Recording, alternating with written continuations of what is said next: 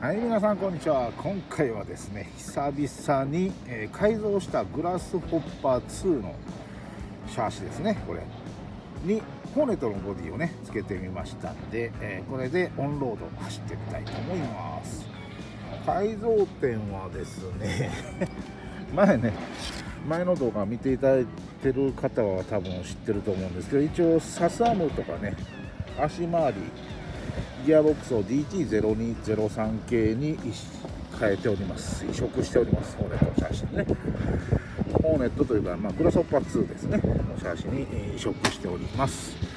でダンパーはフロントはツーリング界のタミヤモケさんのダンパーですね。昔のダンパーをひっくり返してあのノーマルっぽく見えるようにねバネを上にしてつけております。でリアは、えー私のねあの全日本のオフロードの車の予備に使ってたビッグボアダンパーオフロード用ビッグボアダンパーのフロント用の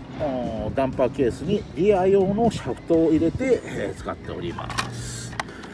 まあ、これねあのオフロードでもすごくよく走って前の動画で言うと RC マニア高弘さんがねあの私のグラスホッパー2と一緒に走ってくれた動画あるんですけどあの4駆のアバンテにも負けない感じのスピードで走れております。よかったらねあの見ていただけると嬉しいです。ではちょっとあまあ3周ぐらい走ってみましょうかねまず。でやっていきましょう。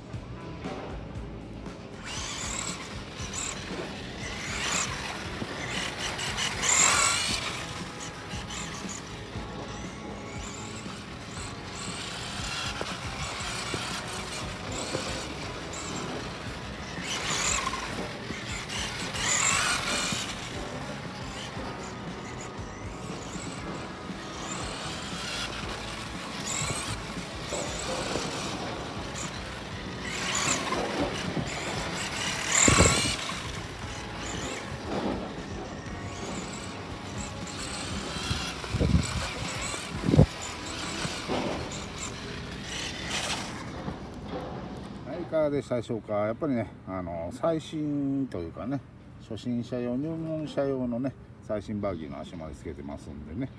性能が良かったように思います。またねあの一緒にね走っていただけるねカントリーボーイさんとか RC マニア高弘さんとかねこれら時に、えーこの車を出して一緒に走ってもらおうかと思います。それではこの動画面白いと思われましたらグッドボタンチャンネル登録 Twitter のフォローをよろしくお願いします。それではさようなら。